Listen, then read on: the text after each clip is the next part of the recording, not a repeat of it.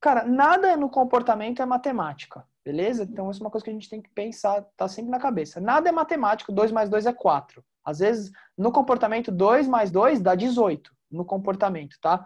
Falando assim, na zoeira, matemática completamente errada. É, mas uma coisa que eu posso te falar, você tem um filhote. A bateria do filhote, ela carrega muito mais rápido do que a bateria do cão adulto. O ideal para treino que a gente fala é quantidade de meses do cão, quantidade de minutos. Então, se você tem um cão de 12 meses, você vai treinar 12 minutos. Tá? Se você tem um cão de 5 meses, você vai treinar 5 minutos.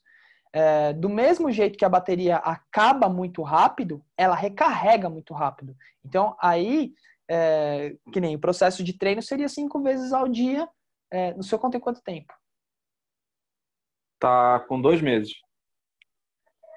Então, seriam, seriam cinco vezes ao dia, dois minutos por, por treino. Bem rápido.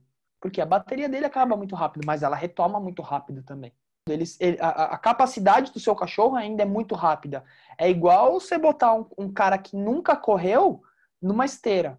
Cara, cinco minutos, o cara tá morto.